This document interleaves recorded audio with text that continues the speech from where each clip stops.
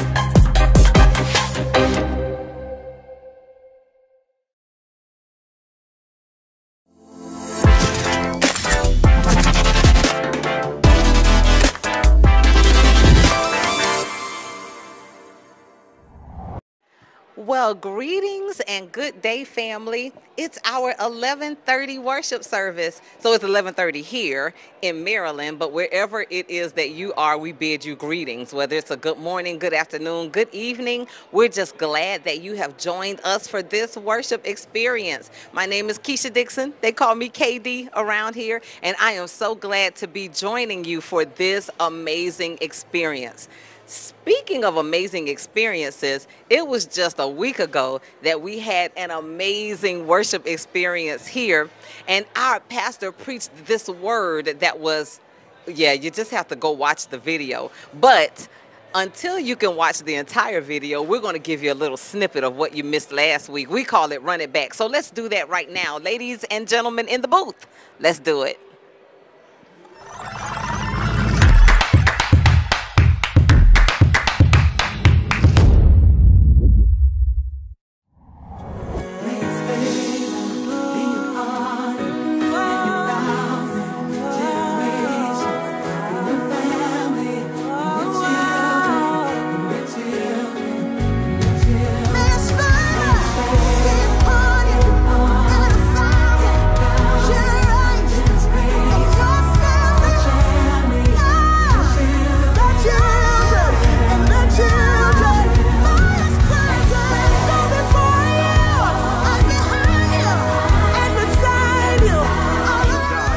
Give him the praise. You ought to give him thanks.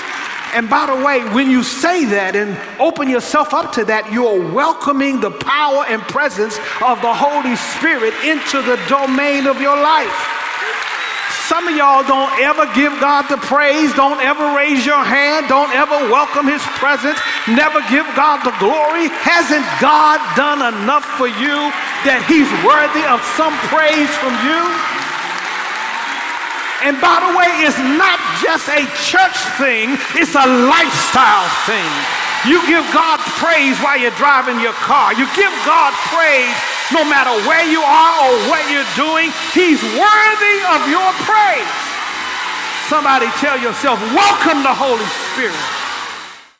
Man, what a word from our pastor last week causes of spiritual defeat man. And he talked about in the little snippet that you saw how praise can be a sign of our victory. If you can't live a lifestyle of praise, then you're you're doomed for defeat. That's really what he was saying. But if you want to hear that entire message, visit our website, fbcglenarden.org slash messages.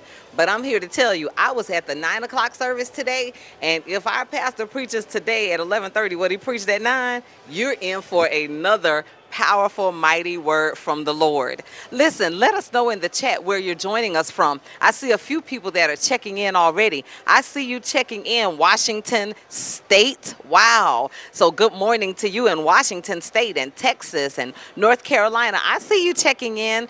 Great day to our family that's checking in internationally from Panama and from India. Wow. India, it's like midnight there. It's almost tomorrow in India and you're hanging out with us online, that is amazing. We are so glad that you stayed up really, really late to join us. I see you checking in from Missouri. Thank you. I appreciate it when the saints do what I ask them to do by checking in in the chat. I see you, some of you that aren't checking in, I'm going to just start calling your name so that you can know that I see you. I see you, Carletta.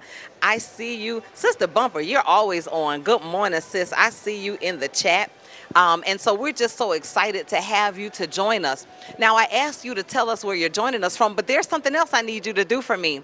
I need you to share this service with somebody. You have a friend, a relative, an acquaintance, a neighbor, a coworker, even an enemy, somebody you don't even like that you know needs an encounter with the Lord today. Would you share this service with them? It's easier than ever now to invite somebody to church all you have to do is share this link. Send them a text message and say, hey, I'd like for you to join me in church today. It's that easy. And I promise you, it could change somebody's life. So you really want to do that, all right? Now it's just about time for service. So I'll be back with you after service and we're going to recap and talk about all of the amazing things that happened in service. But for now, it's about time for praise and worship. Enjoy service, family, and I'll see you after service.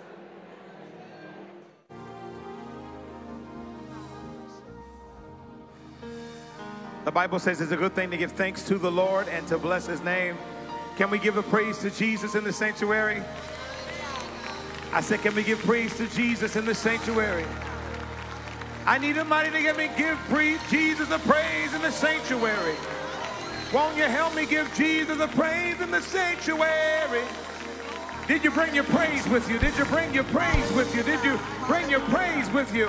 I need people that brought a praise and not afraid to give the praise to Jesus. Come on, lift it up to Jesus. Hallelujah. Won't you sound the alarm? Won't you sound the alarm? I need you to help me lift Jesus. Hallelujah. Oh, come on, I hear you clapping, but I dare you. I dare you to praise the name of Jesus. I dare you to praise the name of Jesus. He's a mighty God and he's greatly to be praised. He's a mighty God, and he's glorious to be praised. I need you to help me lift him. I need you to help me lift him. Hallelujah. Glory, glory, glory, glory, glory. Glory, glory, glory. He's a mighty God. He's a mighty God. He is a mighty God. And we give him praise. And we give him glory and we give him praise and we give him glory and we give him praise and we give him glory. I need somebody to help me today. I need somebody to help me today. Hallelujah. Glory to God. Glory to God. Glory to God. If you love him, why not praise him? If you love him, why not praise him? If you love him, why not praise him? Hallelujah. The name of the Lord is to be praised. The name of the Lord is to be praised. Hallelujah. Glory to God. Glory to God. Glory to God. Glory to God. Glory to God. Glory to God. Glory to God. Hallelujah. Come on, put your hands on this. Come on, come on, come on. I love you, Jesus, deep down in my heart. I love you, Jesus, deep down in my heart. Everybody say, Yeah. I love you, Jesus, deep down in my heart. Say it again, say. I love you, Jesus, deep down in my heart. I love you, Jesus. Deep down. Deep down in my heart. Can we go deep down?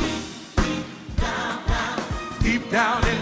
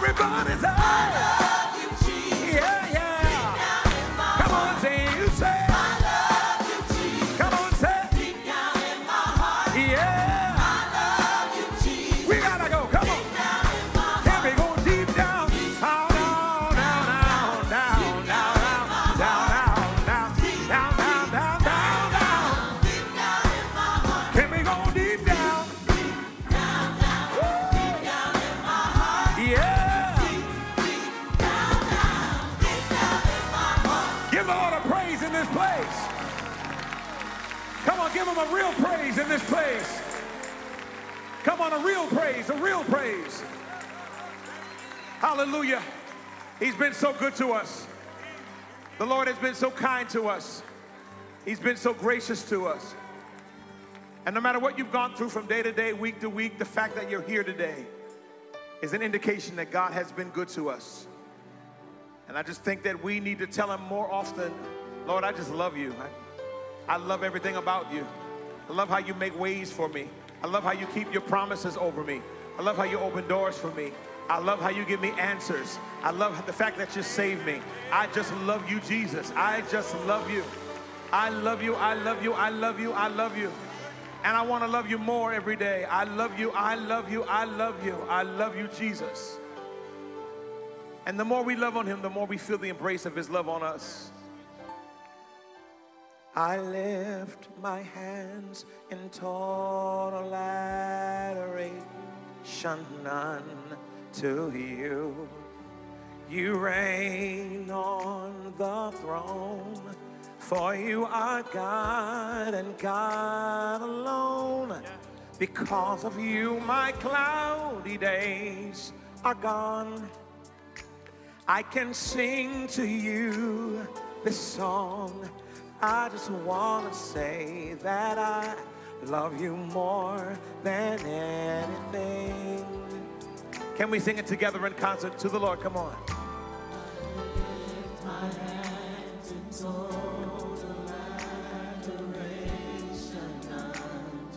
Come on, let's sing it. You reign on the throne.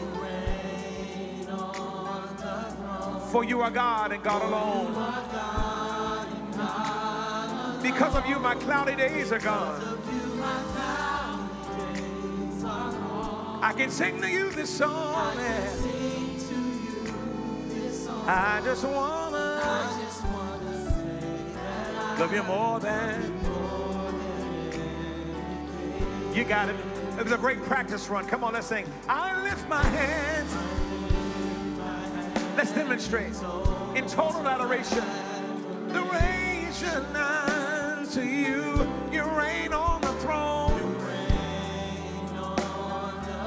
Because you are God. Because of you, my cloudy days. I can sing to you this song, yeah. I just wanna. Say that I love you more than anything. Just one more time, I'll leave you alone. Come on. I lift my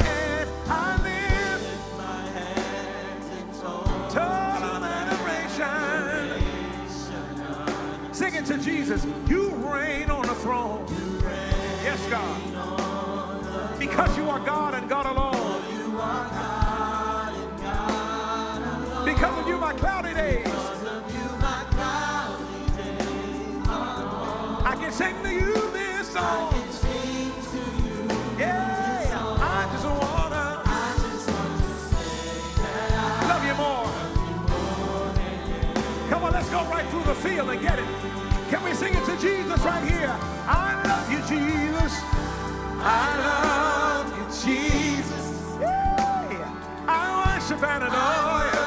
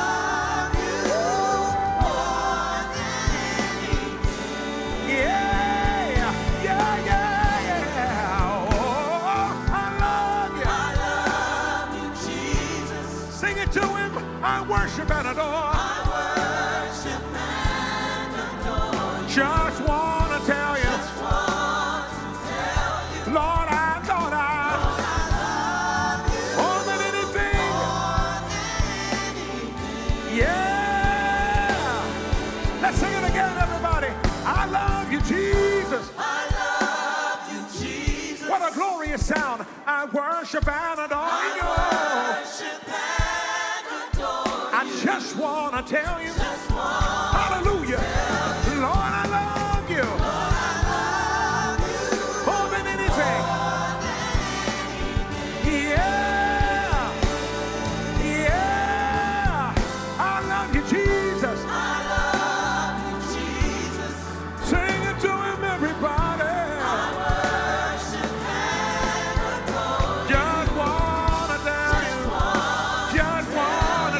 Wanna tell you, Lord, I love you more than.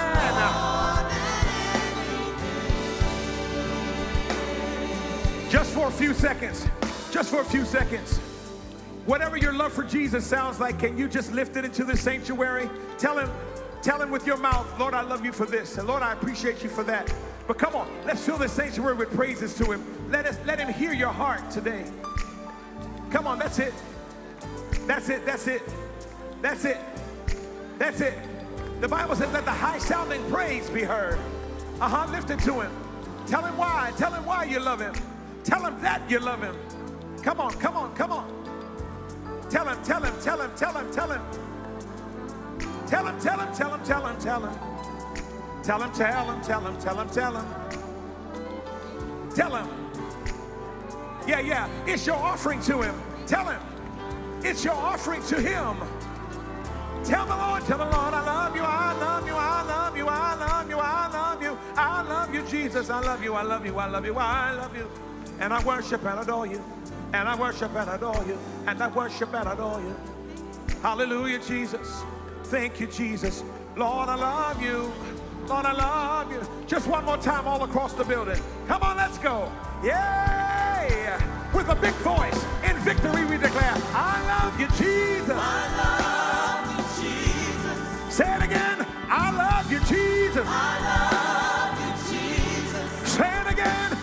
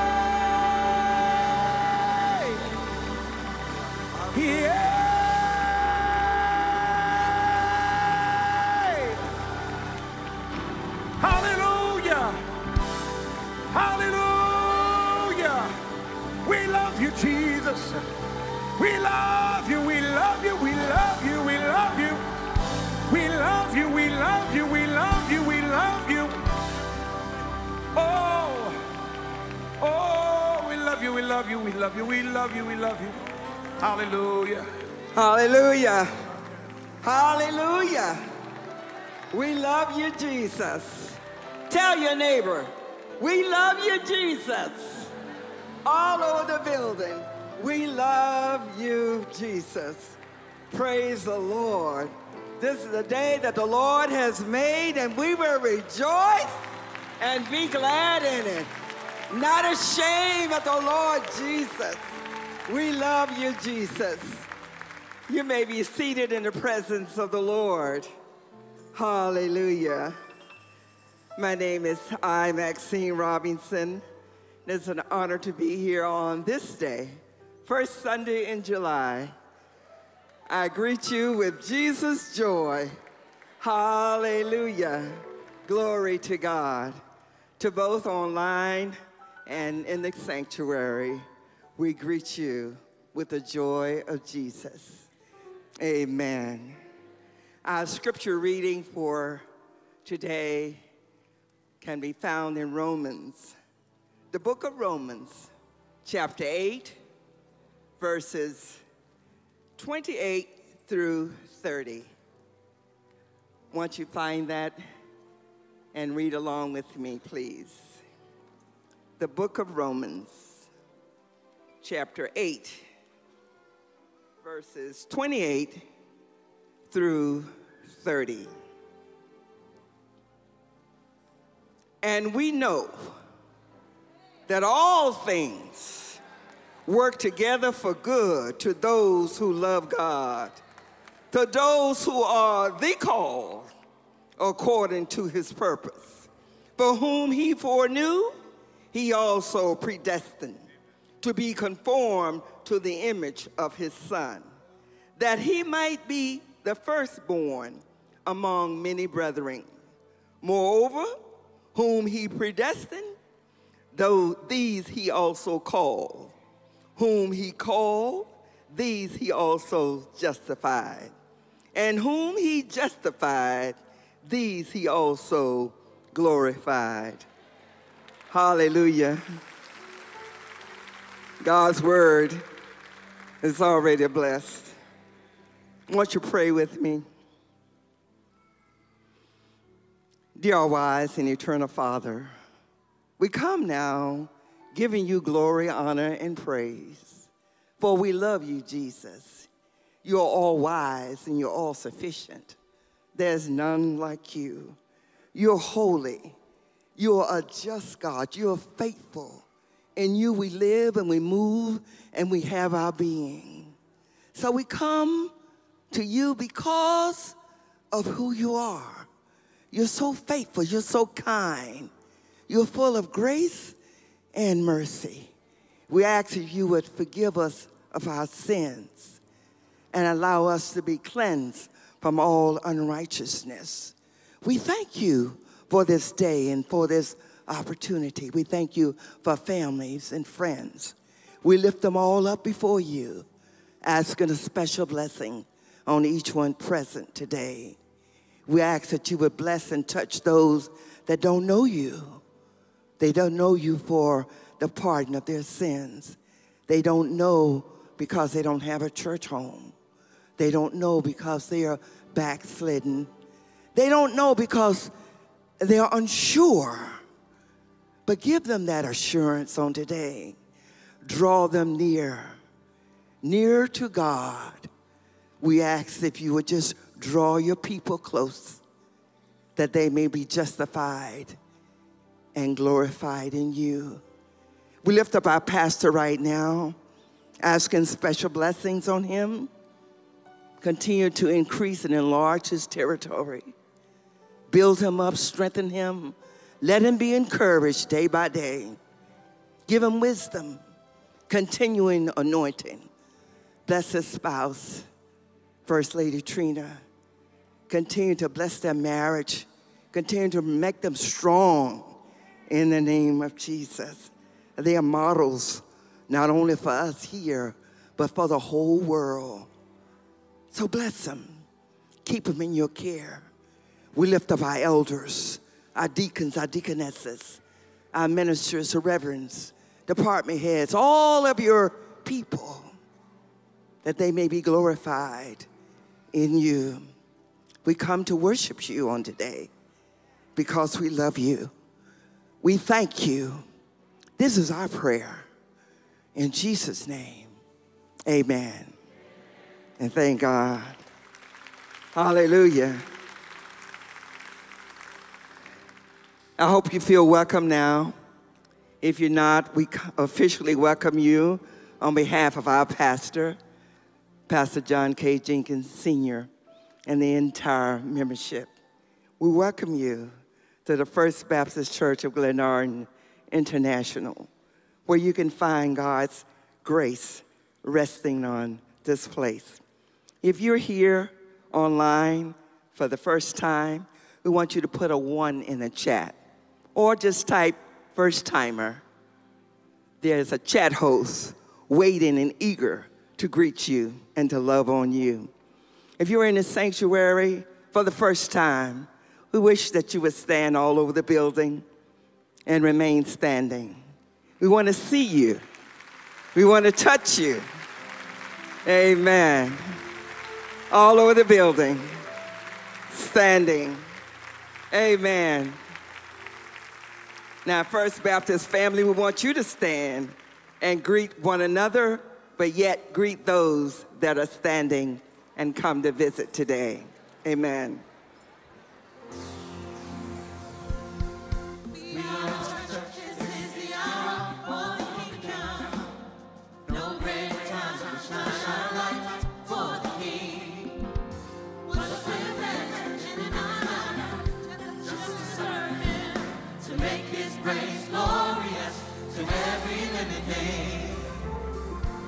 Stop now. No. And we won't stop now. No. Let's shout it out. Let's shout it out.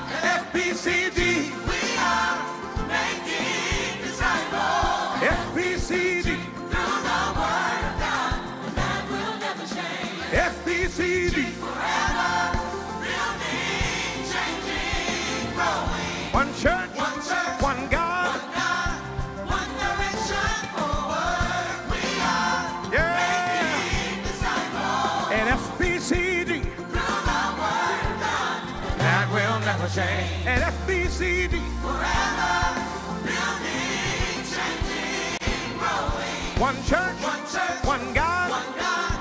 One direction forward. One church. One church. One God. If you look at the guy, you don't have to look far.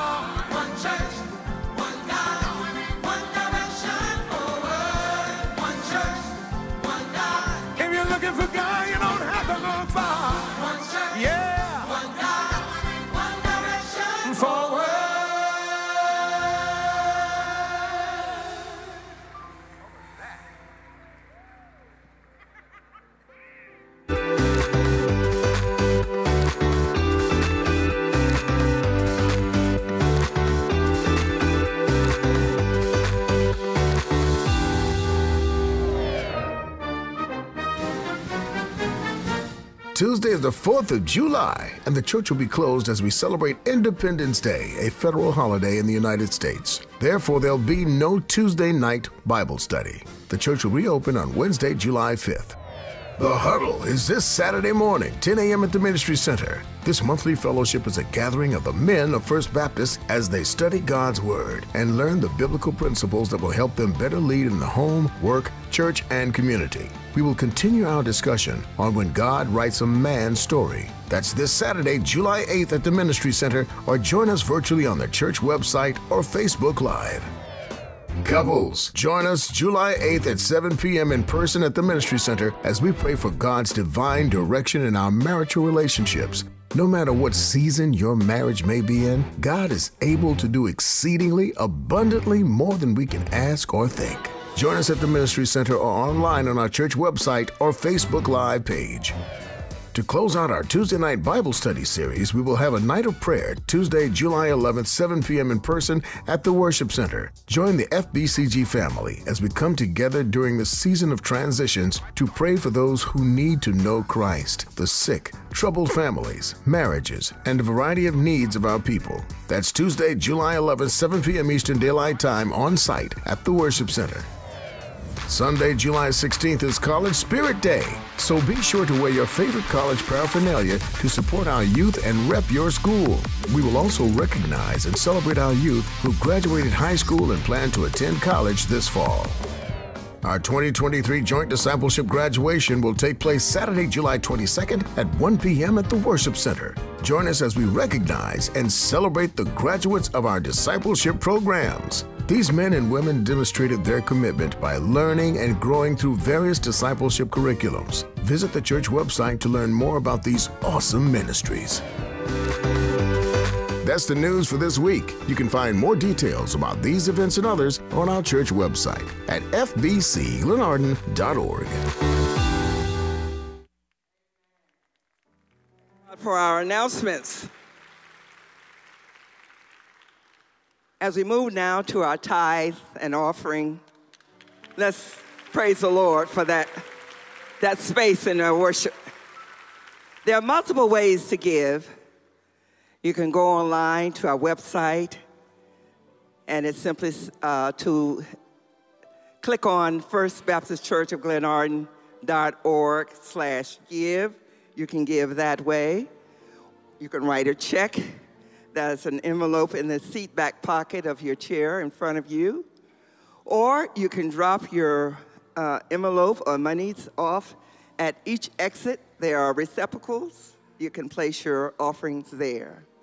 So let us pray at this time over our offering.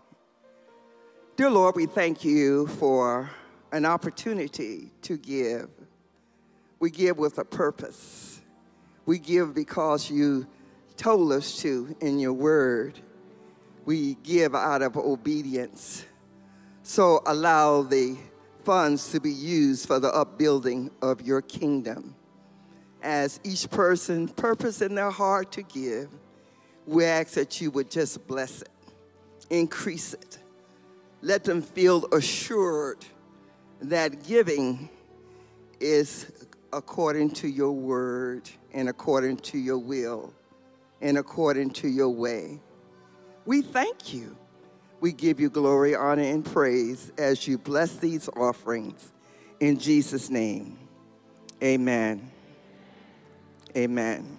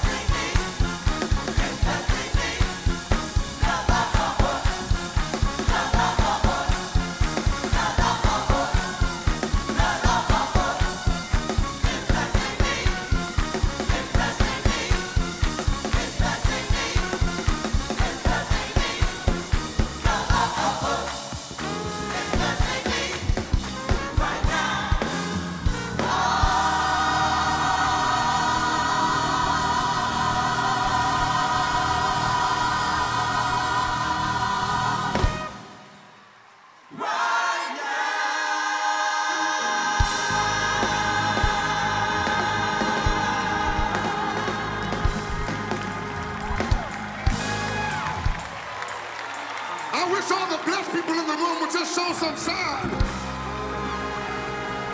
Said he woke me up this morning and he started me on my way.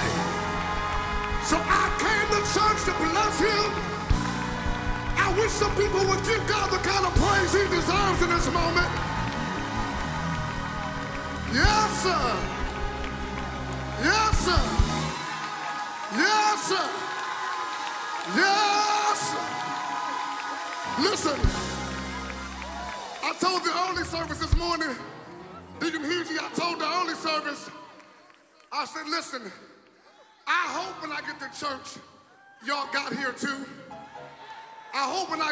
You watching online. I hope when I get here, I have some anointed seat mates who praise with me. But I didn't come to church for you. I came because he woke me up this morning. And I came because he started me on my way. And whether you give him praise or not, I will bless the Lord at all times. And his praise shall continually be in my mouth. My soul shall make her boast in the Lord. The humble will hear thereof and be glad. Oh, magnify. I said, oh, magnify. I said, oh, magnify the Lord with me. And let us exalt him.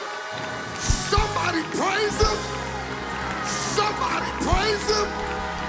Somebody praise him.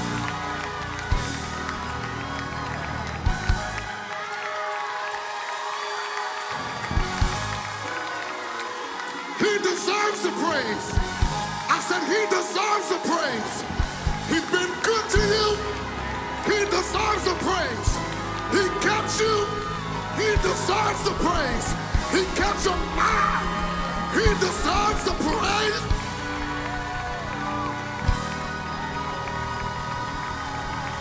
Glory to God.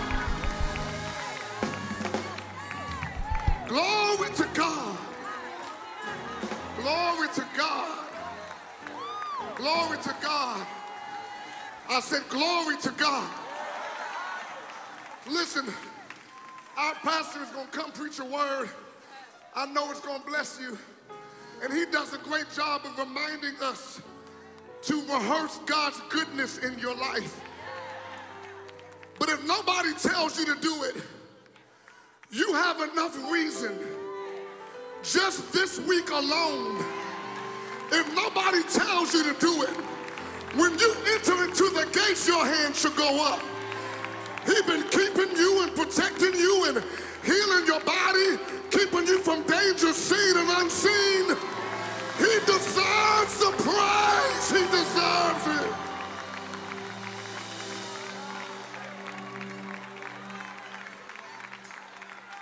Told me, for your goodness and your mercy toward us. For your goodness and your mercy toward us, we offer praise. Oh Lord, we give you praise in this moment. And mm, oh Lord, we bless your name in this moment. And we lift our voices to say thank you for your goodness and your mercy toward us. I need you to think about that for yourself. For your goodness. Hallelujah. And your mercy toward us. We offer praise. So Somebody give God a great praise right there.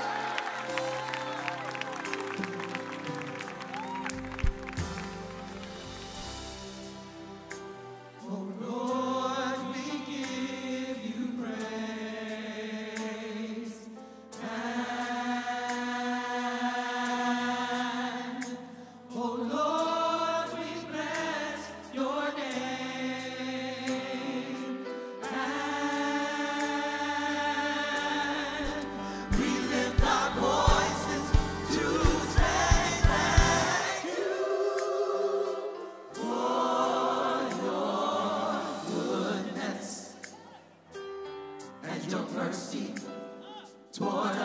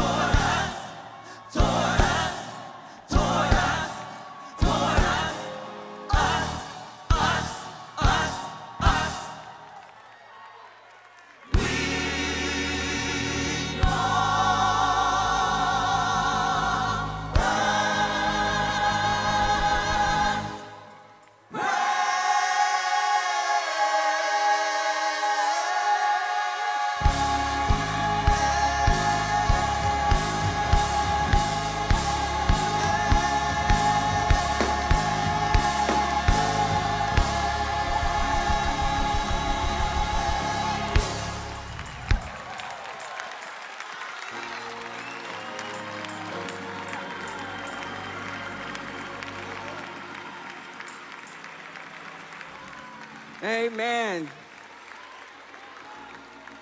We offer praise. It's time for the word. We have a man of God who has been anointed and appointed for such a time as this. That is Pastor John K. Jenkins Sr. Bless you, bless you, bless you. Give our God a shout of praise once again.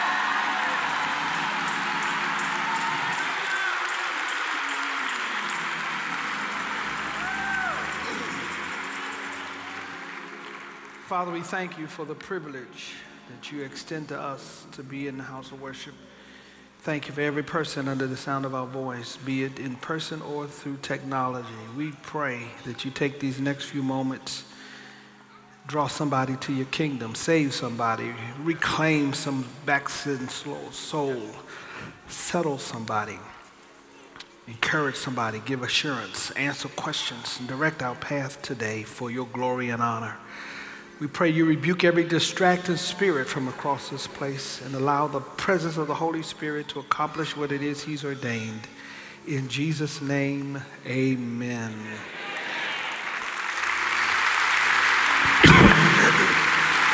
Give somebody a hug before you sit down. One, one last time.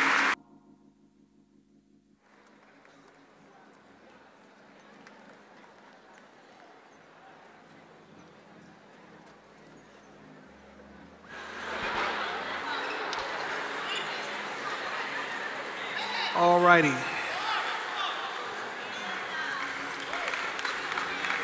It's uh, 1206. I'm hoping to be finished by 206 this morning.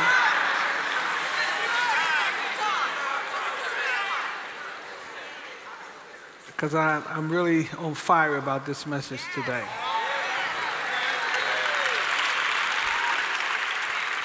I want to talk to you today. I'm, st- I'm starting a series today called the Purpose Series. Purpose. Today's going to be part one. Somebody say the purpose. I want to talk to you about purpose. We have a lot of people who don't know what their purpose is. A lot of people don't realize and recognize they have a purpose. They have an assignment, a destiny, a call from God. And the devil wants you to remain confused, hidden, doubting, questioning your destiny. But look at your neighbor. Say, you may not look like much, but you got a destiny.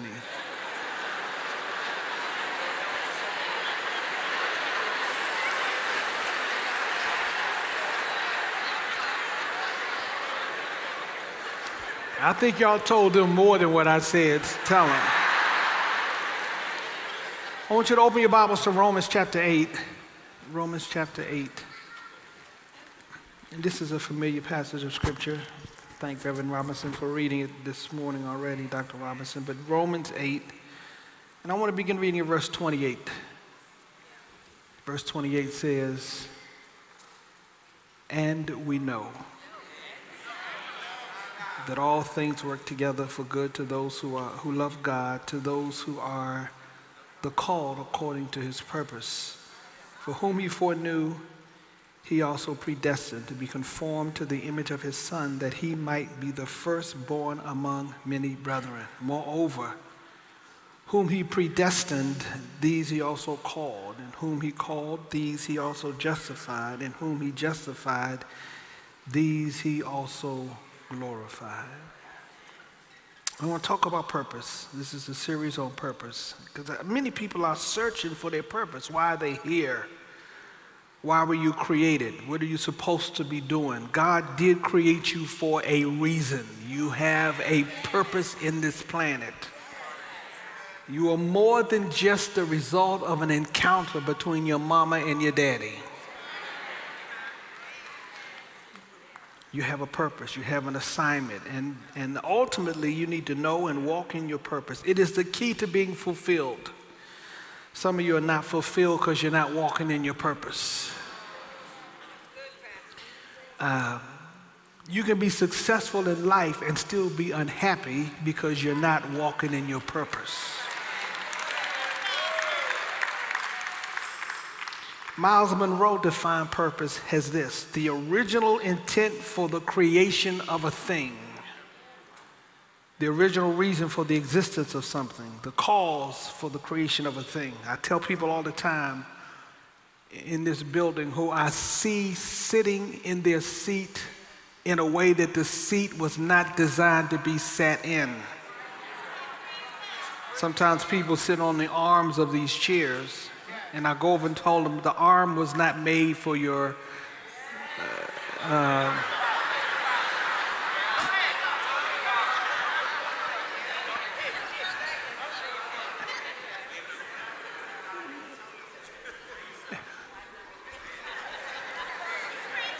Sometimes the seat is flipped up, and I tell them if you push the seat down, and sit in it like that. That's the way it was designed to sit, be sat in. If you, if you use something in a way other than as it is designed or was designed, that's abuse.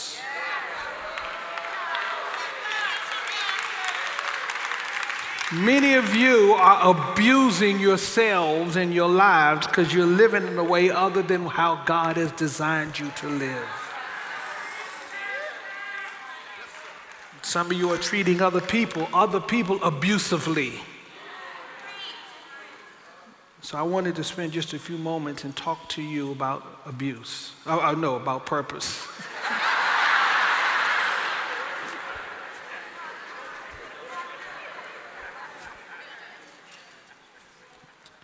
The word purpose, Romans 8:28 says it that those who are the called according to his purpose. Everybody has a purpose. The word purpose finds its root in an Old Testament word called showbread.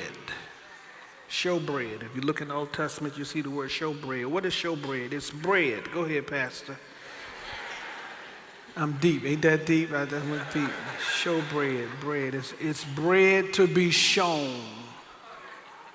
So what does that have to do? When, when, when when they would go into the temple in the Old Testament, the priest would take 12 loaves of showbread and put it and stack them up on top of each other in rows of six. And every Sabbath, they would go in before the Sabbath actually and take the showbread out and put the, the fresh bread in. It represented something, it meant something, it was a significant thing. It was this showbread that was designed to be in the holy place in the temple, close to where they believed God hung out, where God dwelled, and it would lay on the temple in the sanctuary for seven days following the worship. And the purpose of the showbread, here's what it means it means to be put on display. That's what showbread means. And it is this word showbread, the bread that is put on display that is a symbol of what the word purpose means. Now, what, Pastor, what are you saying? Here's what I'm saying God has given us uh, a purpose. What does that mean? It means He has called you to be put on display. Y'all missed it. That went over your head. I know it escapes some of you. Some of you don't get it. You don't understand it. But my job is to try to help you to understand and to comprehend that God wants to take your life, as jacked up as it might be, as messed up as it might be, and do something in your life where it must be put on display.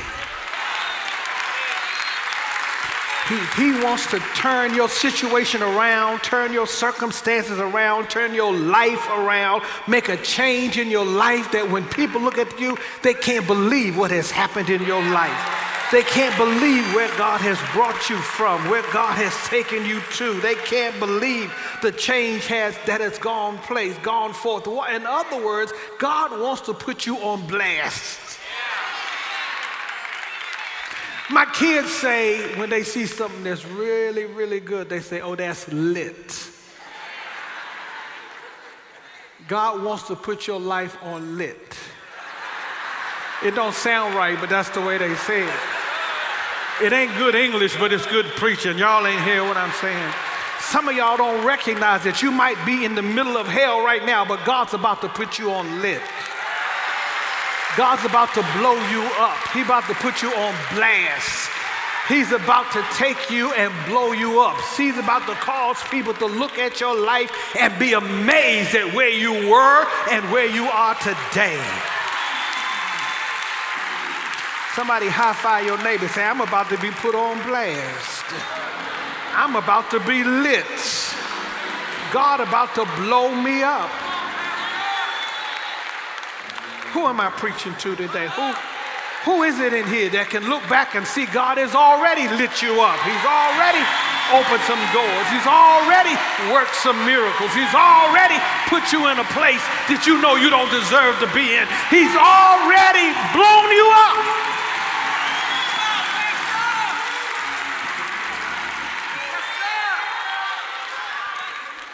So I, am going to, in this series, I want to talk to you about your purpose. I want to talk to you about how to discover your purpose. How do you know what your purpose is? How do you know, what, what are the ways that you know that God's going to do something fantastic in your life? What, what are the signals and the signs? I want to be able to talk about the perpetrators who are trying to keep you from reaching your purpose. How many of y'all know that there's always somebody lurking around trying to keep you from reaching your destiny? And the problem is some of you don't know the difference to know that, that, that everybody sitting into your life didn't come from God. Y'all ain't hear what I'm saying. Look at your neighbor. Say, everybody that come into your sphere, into your space, did not come from God.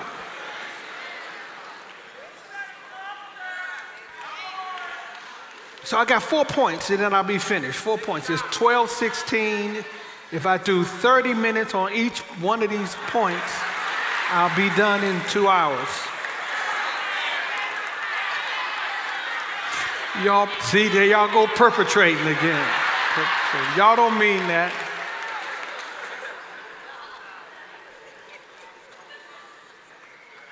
Here's my first point. It says in verse, verse 28 says, And we know that all things work together for good to those who are, who love God, to those who are the called according to his purpose. I want you to see point one that we are called to his purpose. Somebody say called. God has issued an invitation. That's what the word call means. He has, he's calling you, he's beckoning you to your purpose. He, he, he has decreed and called you to a divine appointment that you have. You have an appointment. You, I, I know you don't feel like your life means much. It looks like you may feel like you're not going anywhere, but God has called you. There's a call, there's an invitation. God is calling you to something. You, are not just an accident. You're not, you, you have an assignment from God. And by the way, often your assignment is greater than your job. Y'all, some of y'all are praying for a job. You need to be praying about your calling. You need to be praying about your purpose and your destiny, why God called you. We are called. He has issued us a decree, a, uh, an invitation, and He wants you to respond to that call. He's calling you, and what is He calling you to? He's calling you to His purpose. He's calling you to do what it is He wants you to do, not what you want to do, not what your desires are, not what your agenda is. He's called you to His purpose. Somebody say, His purpose. purpose. Say it again, His purpose. purpose not your wants, not your wishes, not your desires. He has called you to His purpose. Every person in here who has accepted Jesus, He has called you to His purposes. He has got an assignment for you to do to carry out His will. Now, that's number one. You got to know that. You got to walk in here with the knowledge and understanding that you have a purpose. And God has called you to that purpose. That's number one. That's point one. Number two, let me give you point two. It says in verse 29 For whom he foreknew, he also predestined. Stick a pin there. Let me talk about, I want to talk about predestined. My second point is that we are predestined. That's my second point. But before I talk about predestined, I got to talk about foreknew. Because it says in verse 29 For whom he foreknew, he also predestined. That word foreknew means he knew ahead of time. Go ahead, Pastor. You so deep. What are you saying, Pastor? What I'm saying is nothing catches God by surprise. He already knew ahead of time how much of a jacked up joker you were going to be. He knew already that you were going to struggle with some things in your life. He already knew you were going to be a thief and a robber. He already knew you were going to be a drug addict and a whoremonger. He already knew that you were going to have abortions. He already knew you were going to live a twisted, distorted life. He foreknew. So I hear people praying sometimes. It kind of kind of bothers me that people pray to God like God don't know stuff. Like they telling him, like, like Lord, you know, Sister Robinson is in the hospital, as if God is saying, What? When did she get there? How long she been there? What's wrong with her? God, nothing catches God by surprise. He already knows that he pre he foreknew. Here's what I love about it. He already foreknew ahead of time where you were going to live, who your parents were going to be, what kind of family you would live in, what your circumstances were going to be like. He already knew. He foreknew. He, he, he who the scripture says, he for, for whom he foreknew, he also predestined.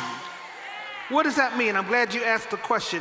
Predestined means that God made the determination and predetermined, predestined, ahead of time, destined what you were going to be. Y'all ain't hear what I'm saying.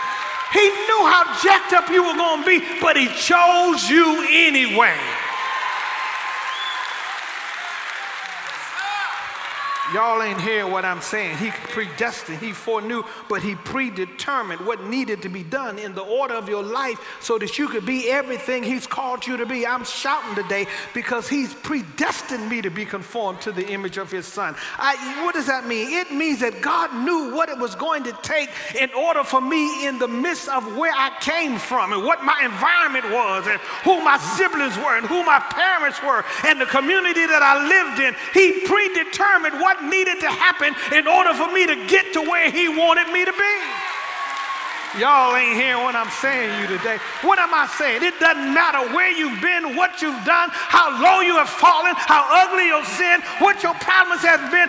Everything you have gone through, God has already predetermined what needed to happen in order for you to get to where he's taking you. Woo! I feel a shout down in my sanctified soul. God knows I wish I could get you to understand and hear that everything about your life, everything about your circumstances, everything about your history, everything about your journey, every I know some stuff you didn't like. I know there's some stuff you didn't choose. I knew there's some stuff you didn't want to go through. If you had to choose it all over again, you would rewrite the story and you would make yourself go someplace else. But God said, I know she wouldn't choose that, but I need her to go through that so that when I take her where I'm going, she can handle the situation where I'm taking her.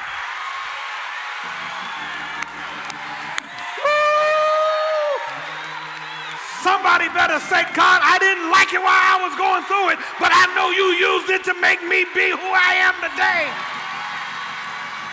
Who am I preaching to today? Who am I talking to today? Who understands what I'm trying to tell you? What I'm trying to tell you is stop crying about your past and thank God that He used it to prepare you for your future.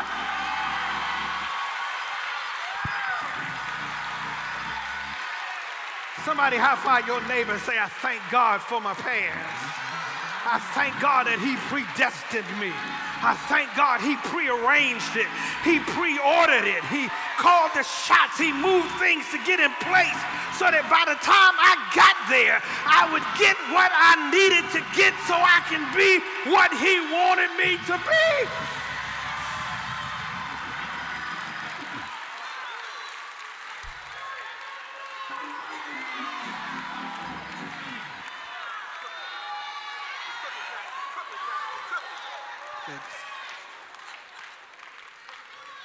Y'all hear what I'm saying to you?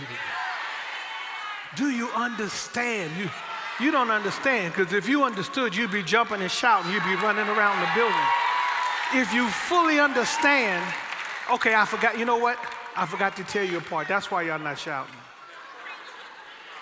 I left something out. Once I once I add this to it, then you'll start Y'all gonna be running around the building. Get get ready, cause you gonna have to. Somebody gonna shout and jump. Get ready on because you know this day. I forgot something. He's predestined us to be conformed to the image of His Son.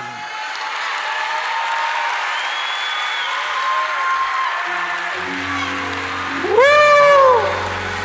Whatever it takes for me to look like Jesus, whatever it takes for me to walk like Jesus and act like Jesus and think like Jesus and be like Jesus, He predestined me to be conformed to the image of His Son. Woo! Do you understand? You, you didn't know why you, why you had to go through what you went through. You didn't know why your daddy had to be a jacked up joker. You didn't know why your mama had to be on drugs. You didn't know why your sister and brothers had to act the way they acted. You didn't understand.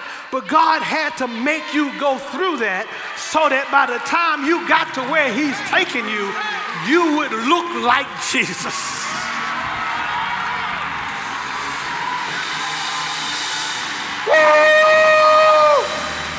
I feel a shout down in my soul when I look back over my life and look at where God brought me from. I can thank Him and praise Him and give Him glory for where He has brought me from. Hey, somebody ought to go ahead and thank God for what you went through. Thank God you wouldn't have chosen you didn't like it, but thank God that He allowed you to go through it so you can be who He wants you to be.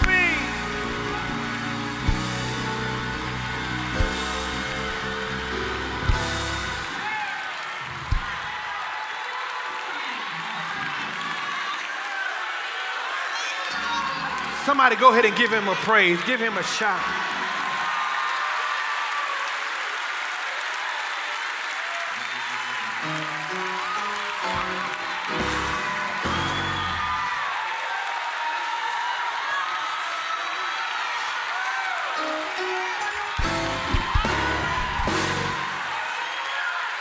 Hallelujah. Glory to the King of Kings. Glory to the Prince of Peace. Glory to the God that we serve. I didn't know why I had to go through it, but it makes sense now. I don't know why I had to be treated so bad, but I know now that God was shaping me and molding me. He's already predetermined and predestined it to be.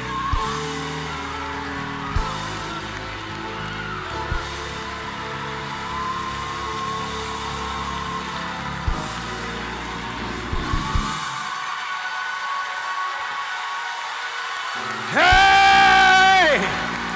Hallelujah. I didn't understand it then, but I understand it now. I didn't know why I had to go through it then, but I know now.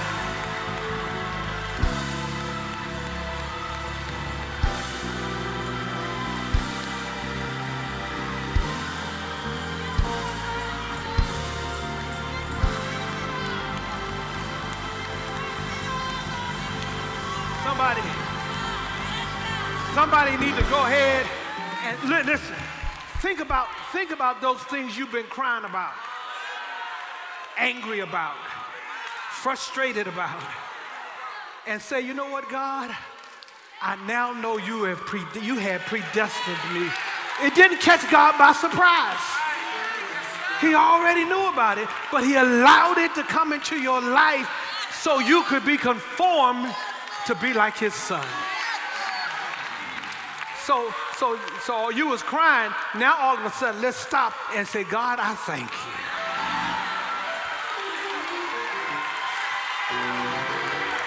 Woo! God, I praise you. God, I give you the glory. God, I give you thanks. He's a sovereign God. He's a God we can trust. He's a God we can believe in. He's a God who we can have confidence in. He is a God we can trust.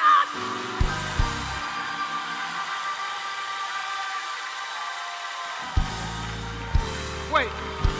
Okay. That's two. That's two points. I got two more to go. Let me tell you number three. So, so not only, listen, not only, not, not only, not only did God uh, uh, call us to his purpose for his assignment, not only did he predestined us according to his purpose, but we are created to demonstrate his power.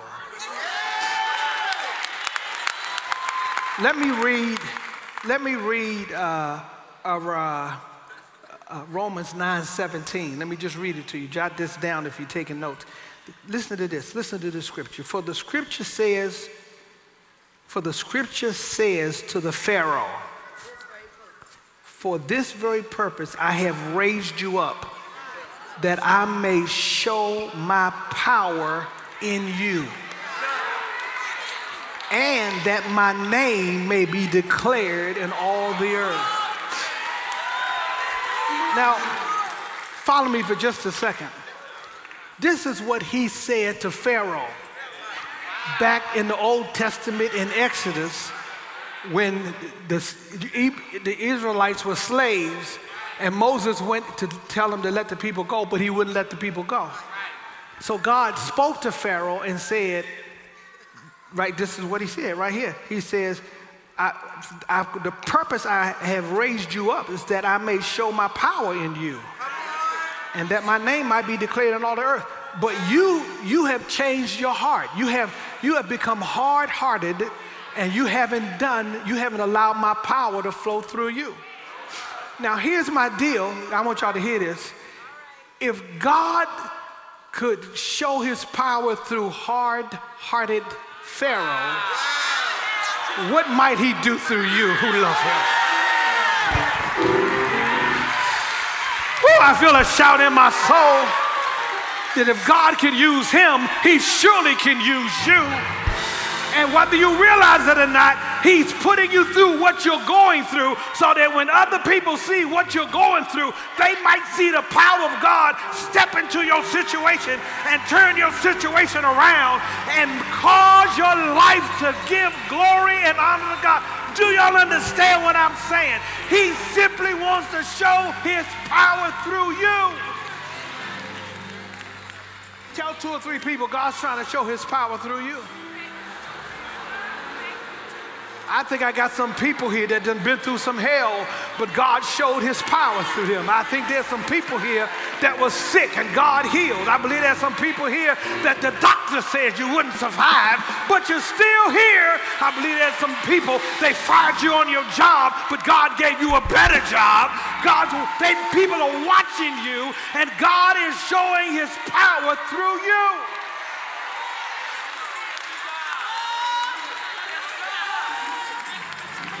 Woo! Y'all, excuse me, I feel like shouting and running around this building. When I think of the goodness of Jesus and all that he has done for me, my soul cries out, Hallelujah! Thank God for saving me. Thank God for delivering me. Thank God for healing me. Thank God for bringing me out of my bad situation. Somebody help me give God the praise. Hey! Glory! Glory! Glory! He wants to use you to show his power. Who will let his power flow through them? Who, who's in the building? Who am I talking to? Who am I preaching to? Who's ready for the power of God to show strong in your life? Okay, one more thing. I'm, I'm finished. One last verse. Second Timothy, chapter, chapter 1. Second Timothy. Y'all be, they going I thought they were going to shout on that last point. They didn't shout. Somebody going to shout on this one. Y'all ready? What key y'all in? What key y'all in? G? Go ahead, let me. Yeah, G. That's G. That's G. Yeah, there you go. Y'all ready?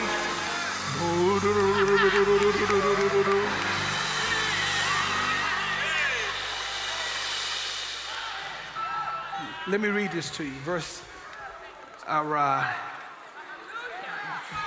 verse 8. 2 Timothy 1, verse 8. Therefore, do not be ashamed of the testimony of our Lord, nor of me, his prisoner, but share with me in the suffering for the gospel according to the power of God, who has saved us. Listen, who has saved us and called us with a holy calling. Y'all see that?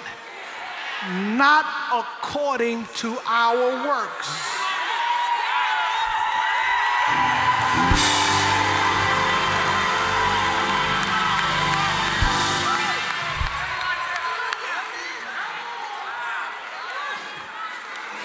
Y'all, y'all don't get it.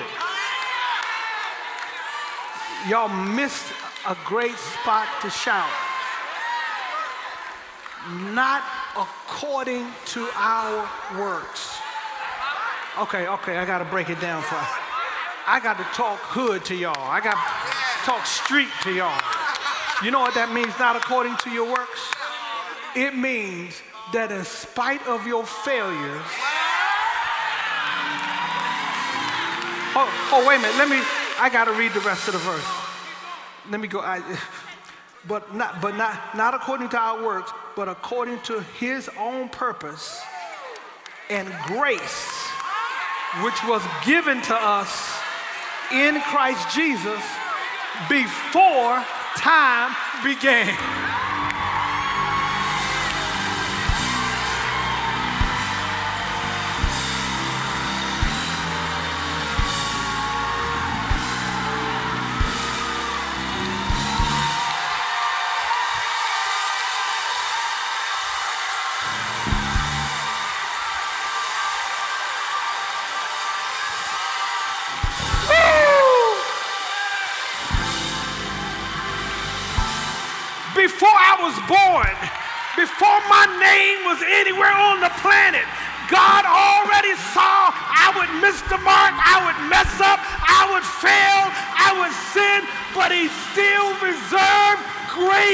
For me.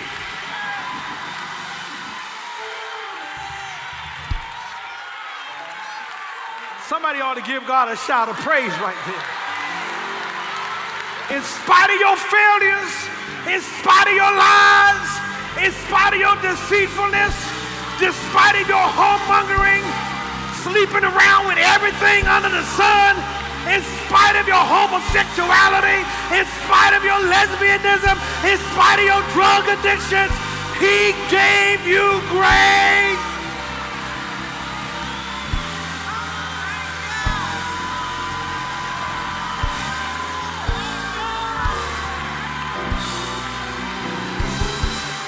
He knew you would be a prostitute. He knew you would sleep around. He knew you would be a drug addict, but he still gave you grace.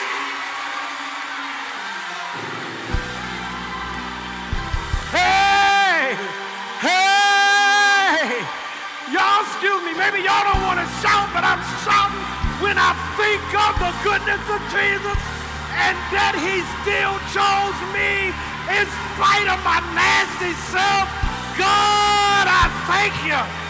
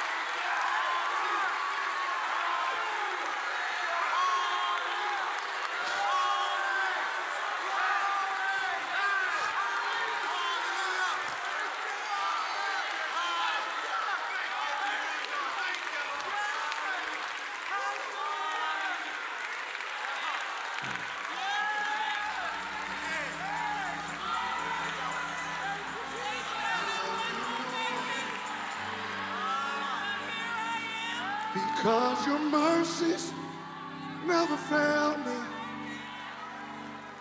all my days. Oh, I've been held in your hands from the moment that I wake up until I lay my head.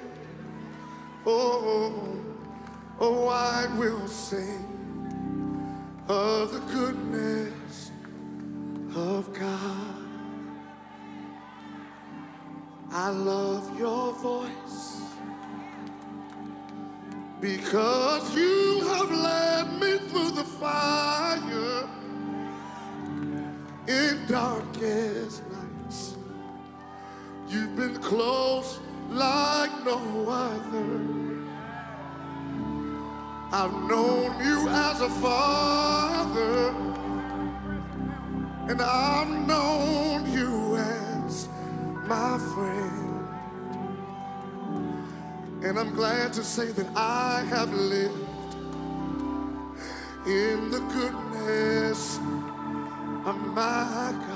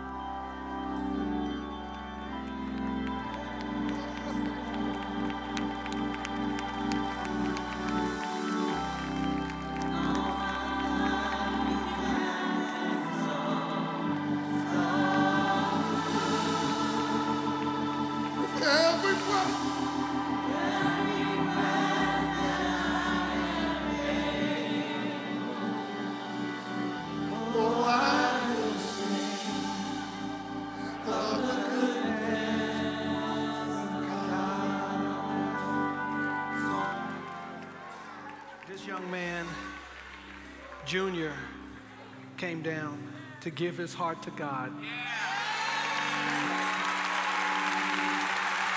So proud of you, bro. So proud of you. Are there some others that want to give their heart to Jesus? You need to know He has a purpose for you. He will forgive you of your sins, He will wipe your slate clean. Humble yourself and make your way down here right now, right this instant. Unsaved, backslidden, unsure. The presence of God is here. The glory of God is here. All my life you have been faithful. Come, come right now, right now. All my life. So,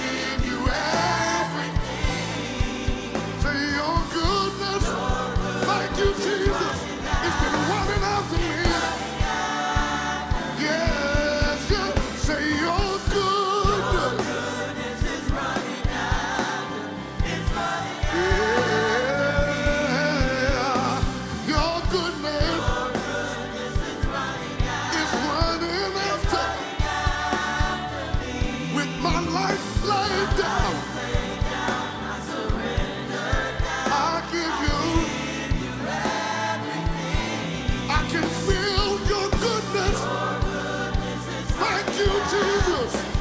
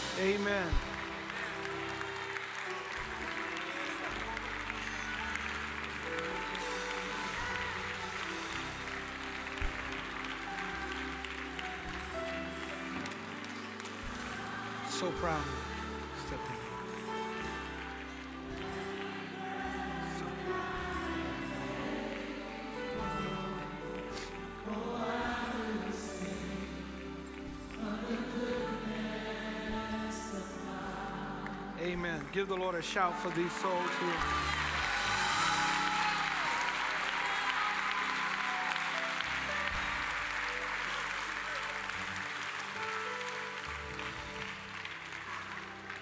So proud of you.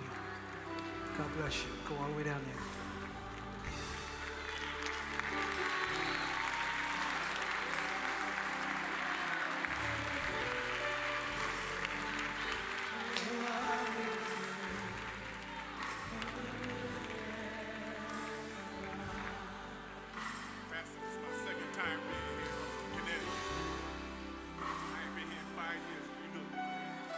Ain't been here in five years. five years. What? I live in Connecticut. Connecticut. Wow. Well, you made the right choice. Glad to have you.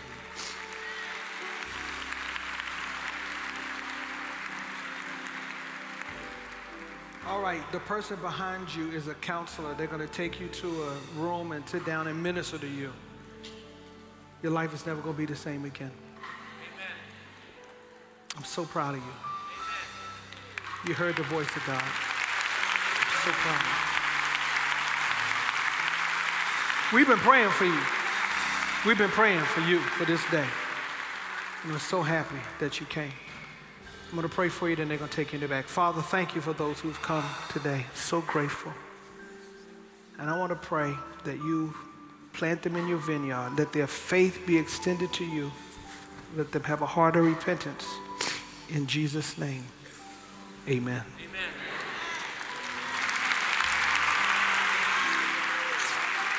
Help me give the Lord a shout for these souls here today.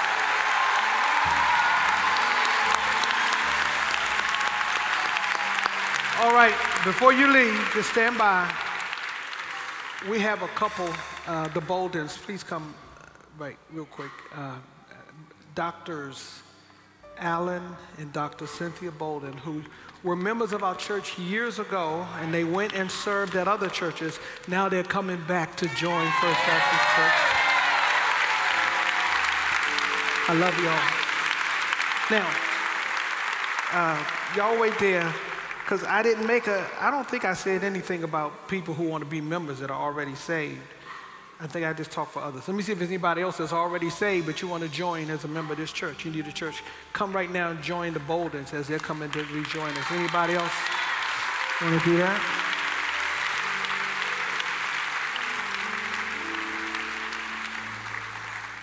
Don't want to rush past anything. Just want you to come on and say yes to God. All my life you have been faithful.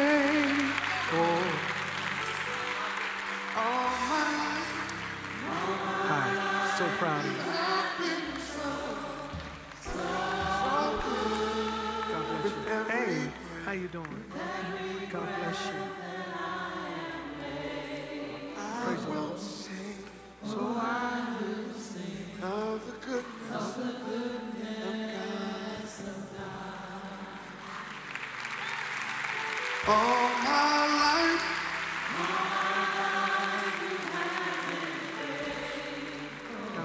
You're still good, and you're still God. All my life.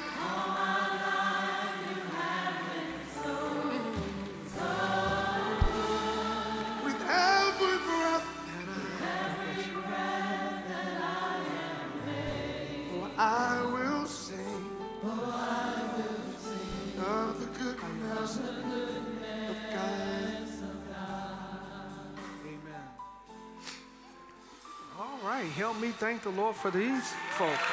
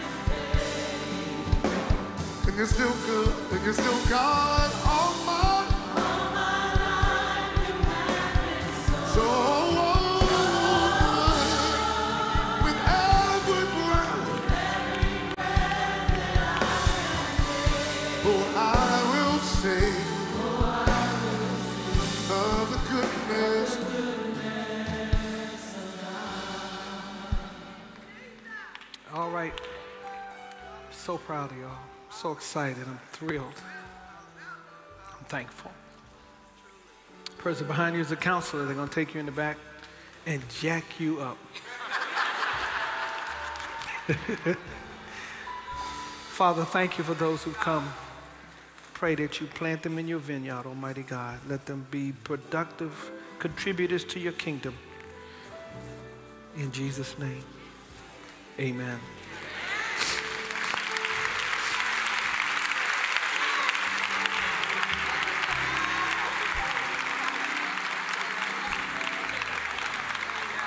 Amen. Praise Him. Praise the Lord. Amen. Excellent.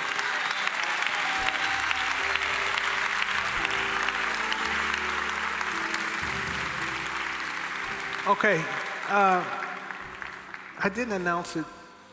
I don't think I announced this to the 11:30 service. September the 17th. Say that. We're going to be shifting to three morning services. 8, 10, and 12. Okay? September, I, I feel I didn't I didn't tell the staff. Nobody else knows it but me. I mean, I didn't I didn't I was planning on telling the staff. They I've been telling them to get ready, so it's not like a surprise.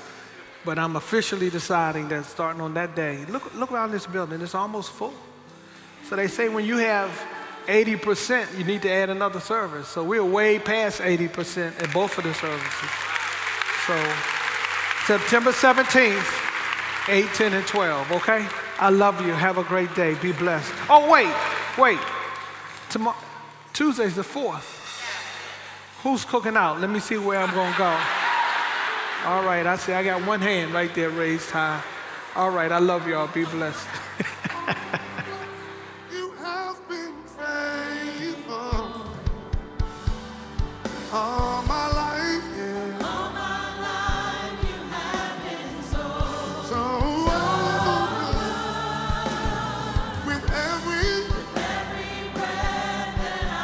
Family, family, family. What can I possibly say that has not been said or done in this service? We're so thankful for the move of the Holy Spirit. I know you felt it, I know you still feel it.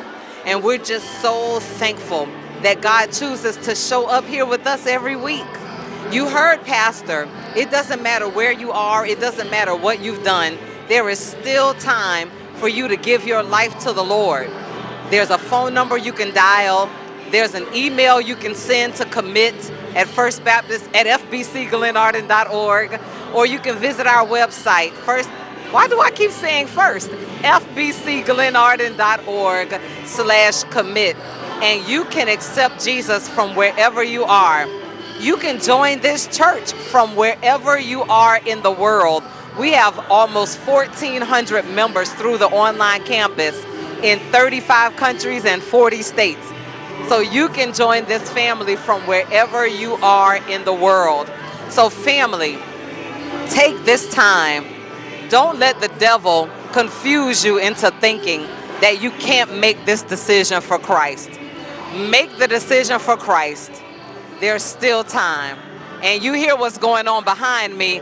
I'm going to let them have it. I'm getting out of here. God bless you, family. Thank you for joining us today. We'll see you next time in the name of Jesus. Be blessed.